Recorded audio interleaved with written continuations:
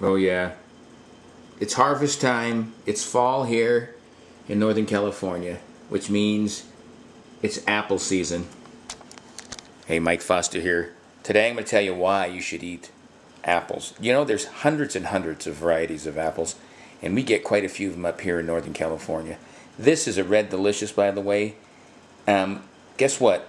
Why should you eat apples besides being delicious? And an apple a day does keep the doctor away. They're loaded, especially these red ones, are loaded with polyphenols, which is the same antioxidants found in green tea. You know, I have a couple videos about green tea, how much I love green tea. I drink it every single day. Why should you eat apples? Because high antioxidant and high in anti-inflammatories will help fight cancer, lower cholesterol, do all kinds of healthy stuff. Let's take a look at some of these varietals. Um, there's phytonutrients in uh, uh, apples, by the way, which also help regulate your blood sugar. Yeah, something as sweet as an apple actually can help regulate your blood sugar. And that's common with a lot of those type of foods um, that I talk about. And it's very, very important. Um, of course, apples are high in vitamin C. This is a Fuji, popular brand that was uh, invented in Japan. These are, of course, Granny Smith, great for baking. They're very, very tart. Um, this one, by the way, is called a Rhode Island greening. That's kind of funny. I'm originally from Rhode Island.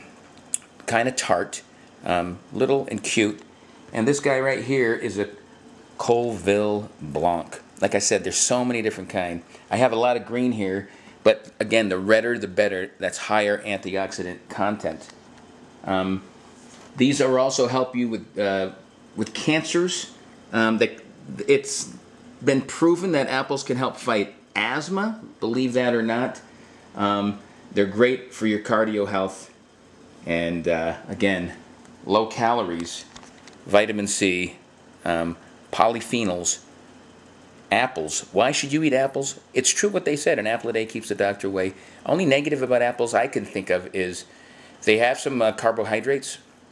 So um, if you're watching your carbs, uh, be careful with that. But a small apple like this is worth it, especially if you're concerned about your blood sugar.